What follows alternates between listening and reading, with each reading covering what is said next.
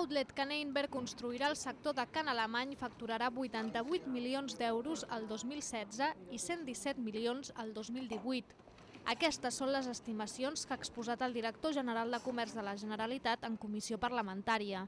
Les xifres corresponen a les dues primeres fases del projecte. La primera fase serien uns 15.000 metres quadrats dels, dels, dels 37.000 totals del projecte i la segona eh, que serien el que, aniria, el que té previst l'empresa per al 2018 serien uns 5.000 i escaig més que s'afegirien aquests 15.000. L'estudi que es presentarà sencer en poques setmanes determina una àrea d'influència del centre comercial formada per 272 municipis on viuen 5,7 milions de persones i estableix que l'outlet absorbirà el 0,33% de la despesa de la població de l'àrea l'any 2016. L'impacte a Viladecans, però, serà més elevat, superior al 5,5%.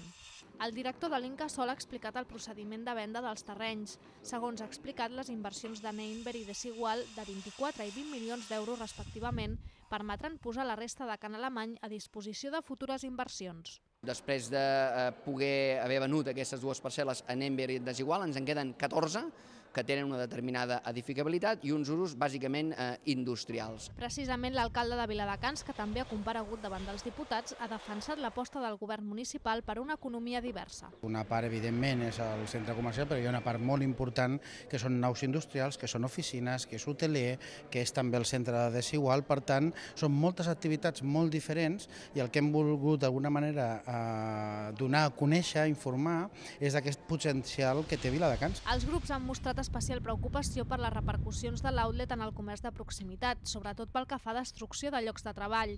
L'alcalde ha assegurat que ha estat en contacte amb els comerciants de Viladecans des del moment en què es va plantejar el projecte i que es tracta d'una oportunitat per millorar el comerç urbà.